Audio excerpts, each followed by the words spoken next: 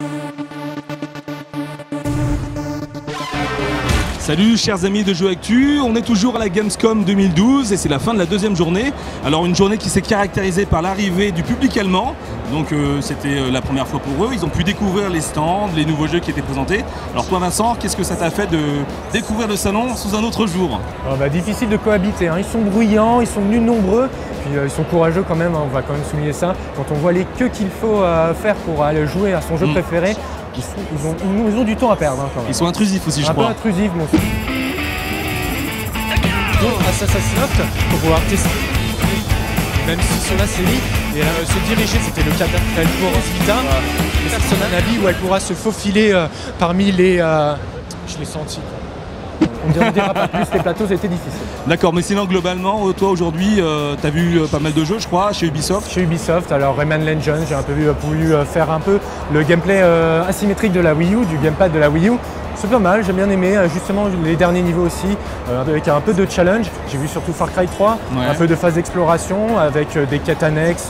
Sympa, ça va occuper, c'est plutôt joli, un peu trop propre. Euh, de l'Assassin's Creed 3 avec des batailles navales, justement ça laisse présager qu'il y en aura un peu plus euh, qu'on qu'on pensait. On pensait que ça allait être euh, assez anecdotique, mais ça laisse présager du bon. C'était pas la même que celle de l'E3 j'espère. Non, non, c'était une autre avec encore plus de bateaux. Mais c'est voilà, c'est ça, au moins un peu de nouveau. D'accord, et la version PS Vita tu l'as vu aussi D'Assassin's Creed 3 Oui, Ouais. voilà, justement. D'accord, Euh, sinon euh, quoi d'autre euh, Chez Sony, Chez Sony tout à fait. voilà, j'ai pu voir Until Dawn, le, euh, Le Survival Horror avec le PS Horror, Move. voilà, voilà, Teen Horror Movie, euh, comique sexy euh, et qui est censé nous faire peur. Mais visuellement, c'est pas tip top.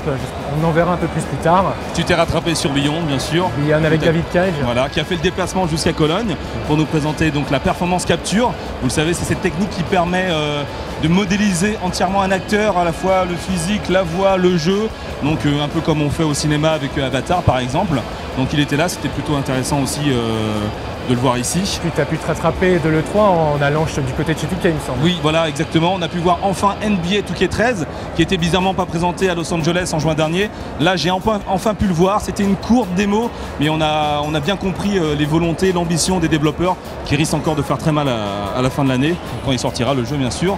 Et puis, euh, bah, on a vu aussi Monsieur Arada, Monsieur Tekken, qui a fait aussi le déplacement jusqu'à Cologne, qui nous a présenté les nouvelles euh, features du jeu, et notamment un nouveau service en ligne euh, qui ressemble étrangement euh, un petit peu au Call of Duty Elite, mais euh, adapté pour les jeux de baston.